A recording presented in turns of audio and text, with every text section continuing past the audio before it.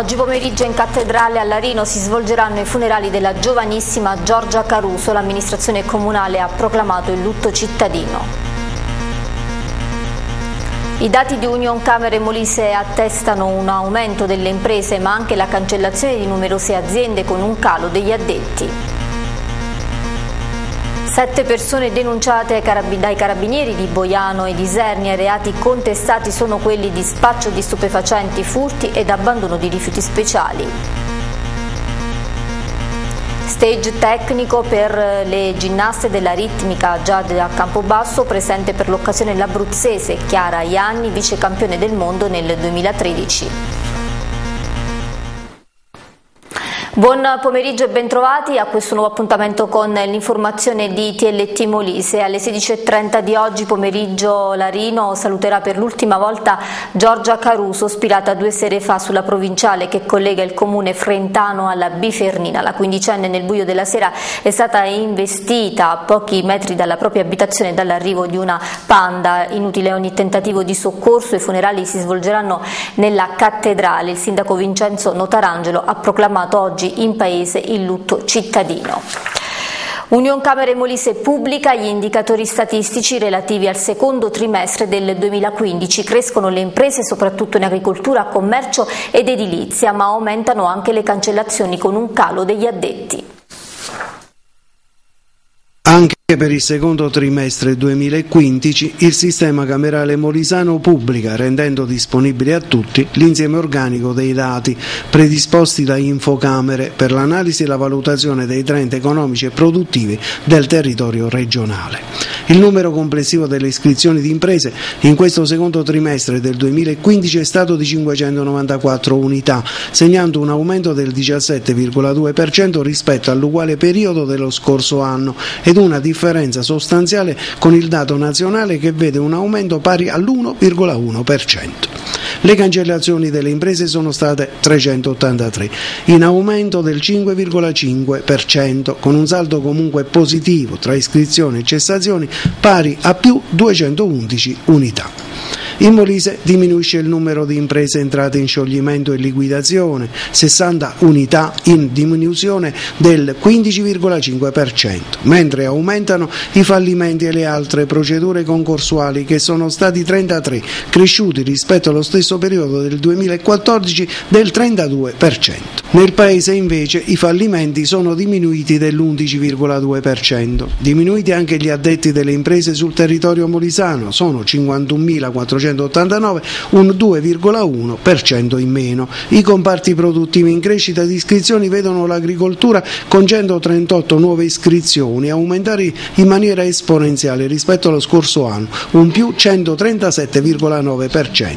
Seguono le iscrizioni nel commercio più 5,4% e costruzioni più 65,9%.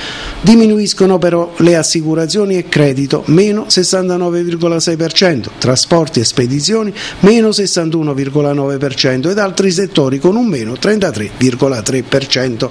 Interessante il dato delle iscrizioni di imprese femminili, circa il 29% del totale, che segnano un aumento del 9,5% in confronto dello stesso periodo del 2014. Agricoltura, commercio e turismo i settori. Le imprese giovanili con lo stesso numero numero di iscrizioni aumentano di poco. I comparti scelti dagli under 35 sono commercio, costruzioni e turismo. Ed alcuni dati ricavabili da una particolare indagine commissionata da Union Camere sulla qualità dei servizi pubblici nelle città mostrano una immagine inattesa del Molise. In questa classifica Esernia occupa il quarto posto mentre Campobasso è solo a due posti più in basso. Una ricerca che come evidenzia il consigliere regionale Filippo Monaco rianima la speranza che forse le amministrazioni locali si stanno mettendo al passo con le necessità del momento. E voltiamo pagina, consumo di sostanze stupefacenti, furti e rifiuti speciali abbandonati. Per questi reati i carabinieri dei comandi di Isernia e Boiano hanno denunciato sette persone. Spaccio di droga, inquinamento ambientale, furti sono questi reati contestati dai carabinieri a sette persone, per lo più giovani. Le maggiori attività si sono concentrate in provincia di Isernia. Per detenzione illegale di stupefacenti dovranno rispondere in tribunale un isernino, studente universitario trovato in possesso di alcune dosi di hashish e un boianese fermato dai militari della compagnia Matesina con 20 bussolotti contenenti eroina. Ancora di Sernia i carabinieri sono riusciti ad identificare un pregiudicato quarantenne del posto, lesto ad introdursi all'interno di una potente BMW lasciato in un parcheggio dinanzi a un locale pubblico della città. Le tempestive testimonianze raccolte dalla pattuglia e le immagini di una telecamera per la videosorveglianza hanno fatto il resto e l'auto è stata restituita al proprietario nel giro di poco tempo. Ancora per il reato di furto è stato denunciato un trentenne foggiano. Il giovane si è reso protagonista del furto di una tessera banco posta sottratta da Agnone all'interno di un'auto di un pensionato. Il pugliese non ha perso tempo e a più riprese prelevava al postamat somme per un totale di 2.500 euro, ma anche in questo caso veniva scoperto e identificato dai militari dell'arma. Infine, sempre in prossimità del capoluogo di provincia, adiacente alla statale 85 Venafrana, le forze dell'ordine hanno rinvenuto pericolose lastre di Eternit e altri rifiuti speciali provenienti dal comparto delle costruzioni, abbandonati senza alcun rispetto per il territorio, in una delle numerose discariche abusive che abbruttiscono le campagne del Molise. Ancora cronaca, colto in flagranza un 41enne del posto è stato denunciato a piede libero per un tentativo di truffa a danno di un'anziana. È accaduto a Campobasso, l'uomo è stato notato da un agente di polizia eh, mentre si aggirava con fare sospetto nel parcheggio del centro commerciale Monforte. Poi lo spostamento in pieno centro cittadino dove ha avvicinato una signora facendole credere che nel parcheggiare era stato procurato un danno all'auto. All'atto della donna di di telefonare qualcuno per farsi consigliare, il truffatore ha cercato di allontanarsi ma è stato immediatamente bloccato dall'operatore della volante che avendo assistito a tutta la scena ha rilevato di essere in presenza di un palese tentativo di truffa. L'uomo è stato quindi accompagnato in questura per i consueti adempimenti di rito. Aveva ritirato questa mattina la sua pensione ma forse per una distrazione ha smarrito il portafogli con all'interno il contante. Il panico sopraffatto la signora residente in località Sant'Antonio Abate a Campobasso. Le condizioni economiche della donna e della sua famiglia infatti non sono agiate e perdere quella somma ha provocato alla stessa un malore. Fortunatamente però un noto commerciante di Campobasso ha ritrovato la somma riconsegnandola alla signora che ha ringraziato l'uomo per la sua onestà onestà. Il forum del trasporto pubblico locale del Molise insieme alla FILT, CGL, all'ADOC e ad altre associazioni di consumatori parla delle criticità dell'intera rete ferroviaria regionale e delle responsabilità dell'azienda e delle istituzioni. Le note critiche sulle ferrovie in Molise sono tante, come tante sono le segnalazioni dei cittadini, pulizie, investimenti, biglietterie e tanto altro. Di questo si occupa oggi il forum del trasporto pubblico locale del Molise che in sintonia con la Filti CGL, l'ADOC ed altre associazioni a difesa dei consumatori intende sollecitare il gruppo delle ferrovie e le istituzioni regionali ad intervenire per migliorare il tutto. Noi segnaliamo due in particolare, il rifiuto di Trenitalia di fornire i nuovi treni eh, per viaggiatori acquistati con un mutuo eh, contratto con la BCE garantito dallo Stato eh, perché la Regione eh, è in ritardo con i pagamenti dei debiti pregressi. Ma noi troviamo questo ehm, ingiusto rispetto ai viaggiatori molisani perché tutto l'esercizio di Trenitalia e di Ferrovie Italiane avviene con finanziamento dello Stato, ma troviamo arrogante che Ferrovie ci ha risposto eh, mm, TPL dice bugie, i, treni, i nuovi treni non sono acquistati con i soldi dello Stato. E allora noi gli dimostriamo con i dati analizzati, gli ultimi dati analizzati, il bilancio 2012 dalla GIG di Mestre, che ormai è un'autorità, eh, che eh, nel 2012, ma oggi non è che la situazione può essere molto cambiata, Nel 2012 eh, le Ferrovie dello Stato hanno speso 5 miliardi e passa quasi 6 e hanno ricavato 2 miliardi e qualche cosa. E allora gli chiediamo con quali soldi acquistano i treni Italia, se non con i soldi, eh, i treni nuovi, se non con i soldi eh, dello Stato. L'altro problemi che noi segnaliamo è che avevamo chiesto chiarimenti su un provvedimento eh, di eh, riduzione della pulizia sui treni eh, a Campobasso e ehm, ci hanno risposto ancora una volta in maniera arrogante, risposto pubblicamente, eh, sono riportate dai giornali, eh, che, mh, mm, che, il servizio è stato ridotto nel periodo estivo perché è stato spostato eh, sulla tratta tirrenica e ci chiediamo come i servizi del Molise con i soldi del Molise vengono spostati da un'altra parte. Agli inizi di agosto l'ACEM si è rivolta al Presidente dell'autorità anticorruzione Raffaele Cantone, al Presidente del Consiglio Matteo Renzi e al Ministro delle Infrastrutture Graziano Del Rio, segnalando la pubblicazione di bandi di gara per l'affidamento di lavori pubblici ritenuti umilianti per le imprese per il fatto di subordinare i pagamenti al previo finanziamento dell'opera e di far salvo l'ente appaltante per l'ipotesi in cui il eh, finanziamento non dovesse giungere. L'ANAC ha così contattato l'ACEM per la trasmissione degli atti inerenti ai bandi contestati per fare chiarezza sull'intera questione. La raccolta differenziata a gamba tesa produce i suoi primi effetti positivi. Dopo solo tre mesi scendono dell'8% le bollette tari. È dallo scorso maggio che a gamba tesa la raccolta di rifiuti porta a porta è in realtà via e bidoni dell'immondizia antiestetici e maleodoranti dalle strade del piccolo centro, più senso civico in paese, ma soprattutto meno spese. Dopo circa quattro mesi dall'avvio del servizio, infatti, si è registrata una diminuzione delle bollette della Tari del 2015 dell'8%, un primo bilancio che mette in evidenza la funzionalità e la sostenibilità della raccolta porta a porta.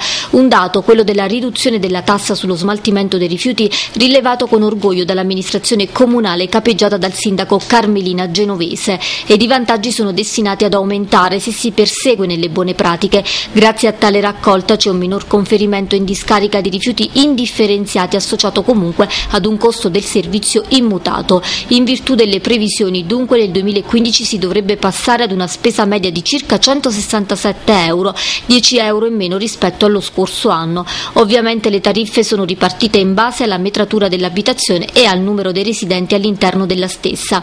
Intanto si continua a guardare alle percentuali. A giugno quella dei rifiuti differenziati raccolti è stata del 53% con una riduzione drastica anche del peso complessivo dei rifiuti prodotti, a giugno 32 tonnellate, ad aprile 45. Il Comune attende ora l'erogazione del finanziamento regionale per realizzare l'isola ecologica e dotare i cittadini di ulteriori attrezzature per differenziare meglio ed in modo più comodo.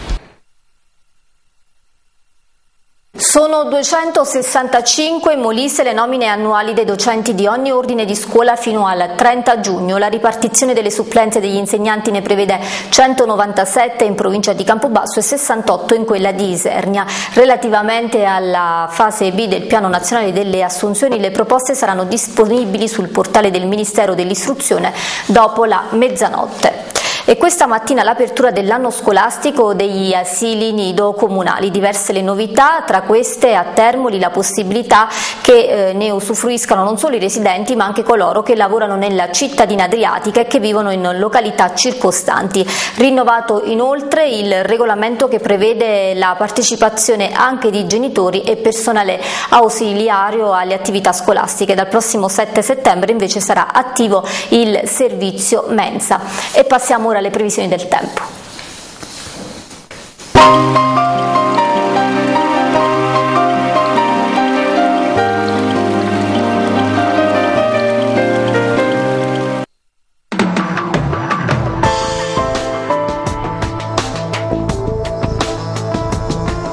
Giornata calda e soleggiata su tutto il Molise, cielo stellato dalle ore serali, le temperature sono comprese tra i 21 gradi di Capobasso fino alla massima di 32 a Isernia, ventilazione debole meridionale, calmo l'Adriatico centrale, domattina ancora cielo limpido su tutta la regione, valori climatici in leggera flessione, i venti si disporranno dai quadranti occidentali.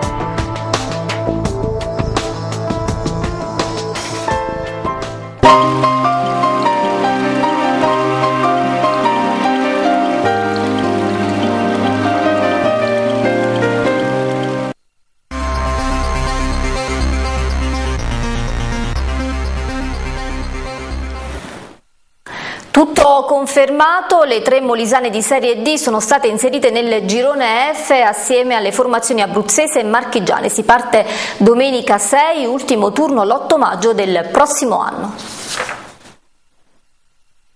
Campobasso Recanatese, Chieti Agnone, Matelica Isernia, questa è la prima giornata del campionato di Serie D in programma fra cinque giorni.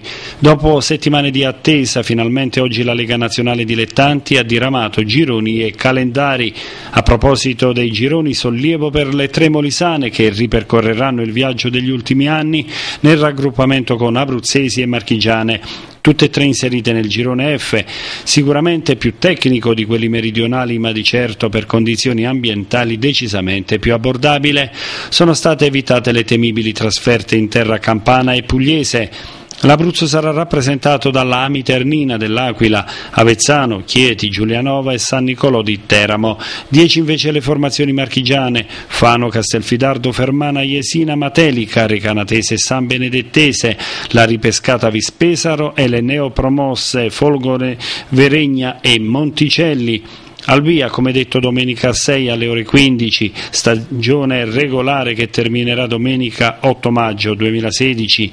Agnonese Isernia sarà il primo derby della stagione il 5 ottobre, seguito il giorno 25 dello stesso mese da Campobasso Agnonese. Per vedere invece contro i due capoluoghi di provincia bisognerà attendere la diciassettesima e ultima giornata di andata, il 20 dicembre, allo stadio Le Piane. Intanto in questi ultimi giorni di preparazione il Campobasso ha raggiunto l'accordo con il diciannovenne portiere Giulio Grillo proveniente dal Torino in prestito. Venerdì sera la presentazione della squadra rosso-blu ai tifosi in piazza Municipio. Ultimi giorni di mercato anche per l'Isernia di Pierluigi De Bellis e per l'Olimpia di Silvio Paolucci. I Granata sono alla ricerca di una prima punta di razza e di due juniores, un portiere e un esterno, per completare la rosa. Eleganza, elasticità, grinta e duri allenamenti sono questi i requisiti principali per emergere nella ginnastica ritmica. A Campobasso la visita della vice campionessa del mondo Chiara Ianni. Vediamo. Un palmarès eccezionale quello raggiunto da Chiara Ianni nella ginnastica ritmica nonostante la sua giovanissima età, 23 anni. Abruzzese di Popoli si allena tra Chieti, Pescara e Ortona. Ai mondiali di Kiev due anni fa ha raggiunto l'apice della sua carriera con una medaglia d'argento, prima ancora campionessa italiana juniores nel 2005 e nel 2006, tre anni più tardi vice campionessa nazionale assoluta. Invitata in Molise ha raggiunto il capoluogo per seguire nella palestra di Via Trentino uno stage di alcune giovanissime allieve della ritmica Jad. C'erano 60 ragazzine eh, che praticano il mio stesso sport e niente, le ho trovate bene nonostante le vacanze e spero che inizieranno quest'anno eh, bene, so che hanno molte gare da fare e niente, quindi do loro un in bocca al lupo. Eh, come ha visto il livello tecnico di queste ragazze allieve molisane rispetto allo standard nazionale? Beh, sicuramente sono molto pronte, poi Enza è sempre in contatto con la mia allenatrice che eh, beh, la mia allenatrice è abbastanza è una tecnica nazionale, quindi sa sicuramente darle delle ottime informazioni riguardo tutto il programma della ginnastica. Come si riescono a raggiungere risultati di eccellenza a livello europeo e mondiale? Beh, il lavoro al primo posto, però ci deve essere anche tanta passione, perché senza la passione purtroppo siccome il lavoro è tanto, eh, diciamo che bisogna mettercela tutta per affrontare le giornate di allenamento, che sono comunque almeno 8-9 ore al giorno per tutti i giorni. I suoi prossimi impegni? Io ora mi alleno, però soprattutto faccio da allenatrice quindi eh, da quest'anno alleno sia nella mia società dove sono cresciuta e sia in un'altra società d'Abruzzo. Nel frattempo continuo anche un po' ad allenarmi per le varie esibizioni che ho in giro per l'Italia. A livello di disciplina proprio la ginnastica ritmica, quali le qualità che occorrerebbero di più? Beh, eh, è uno sport femminile, quindi soprattutto l'eleganza. Poi la ginnastica è uno sport che comunque comprende un po' tutti, diciamo, tutti gli elementi eh, che gli sport devono avere, quindi comunque la potenza, l'elasticità, eh, grinta, vabbè, quello in tutti, quindi un po' tutto diciamo. Il secondo appuntamento sportivo con la giornata paralimpica si svolgerà a Termoli giovedì mattina negli impianti del Circolo della Vela. 50 circa gli sportivi molisani con disabilità, adulti e ragazzi che parteciperanno alle prove in acqua e in spiaggia. E con questa notizia si chiude il nostro telegiornale. Vi ringrazio per l'ascolto, vi do appuntamento alle prossime edizioni. Arrivederci.